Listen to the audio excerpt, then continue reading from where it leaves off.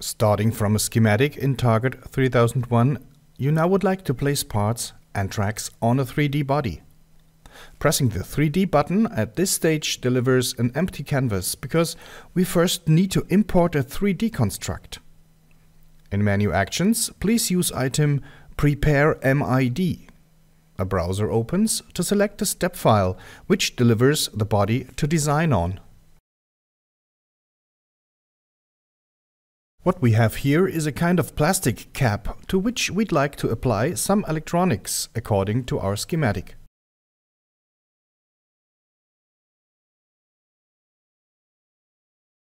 To the left we see all signals as well as the component packages being determined by the schematic. To place a component package to the body, please use this button. The cursor image changes and you move it to the spot where the center of a package shall be placed. A list pops up to select the desired package. Immediately it gets placed and a further dialog allows rotation by degrees. Positive means counterclockwise, negative means clockwise. You also might enter degrees here individually. Now that we are still in the mode to place parts, we just hover to the next position. The same here. First click, then select from the list. We select IC number 2 and place it. Again, we have the opportunity to rotate the part. You can make this dialog pop up at a later time after having a part highlighted and pressing keyboard key T for turn. Well, the position might be improved a bit, so we highlight it by a click to its center, move the cursor to the desired spot and press keyboard key D for displacement. Immediately the package moves its center to the new spot defined by the cursor tip. For these two parts, we'd like to see the connections coming from the schematic.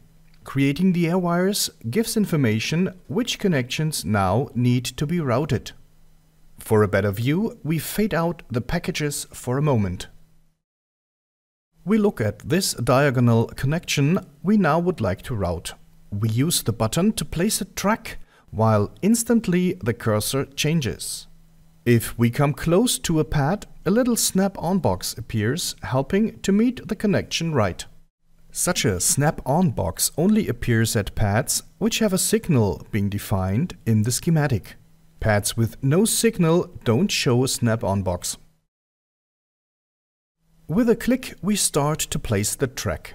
The width of the track in black and its aura in red are determined by the signal characteristics in the schematic. See how a track is placed. We shoot over a bit, place it by click and arrive to the destination pad.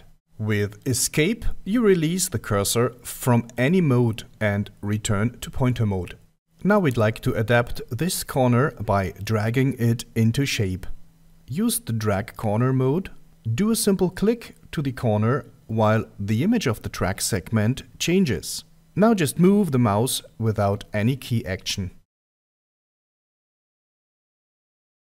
We change the track width, for example, to 0.1 millimeters.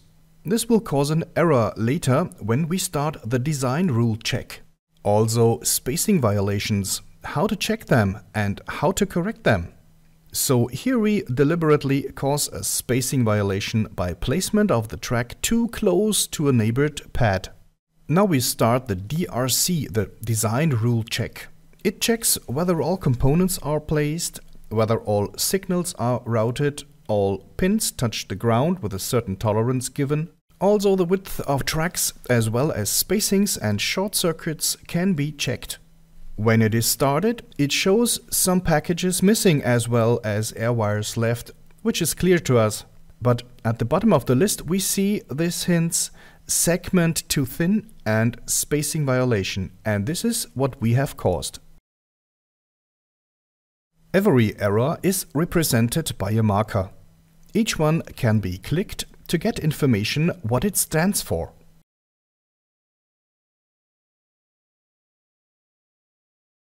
If clicked, the element in question is highlighted. Pressing keyboard key E allows to edit it.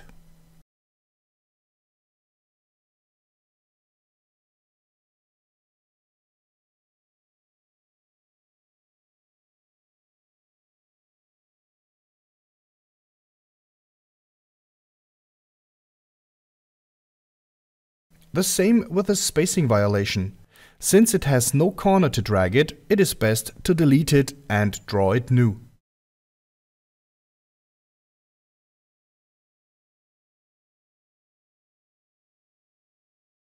Error markers can be deleted by the DRC dialog.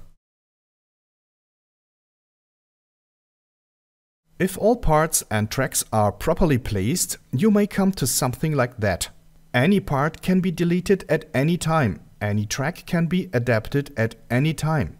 You always have the schematic in the background. So any change of the electronic logic in the schematic can instantly find its consistent representation on your 3D construct.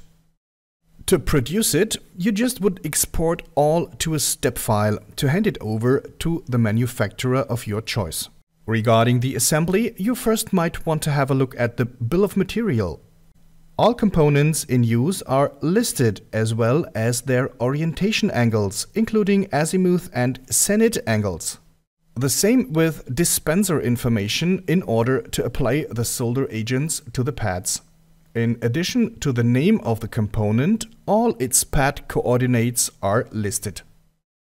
If you want to order the completely produced and assembled part as a whole, just click the Beta Layout tab to request an offer from there.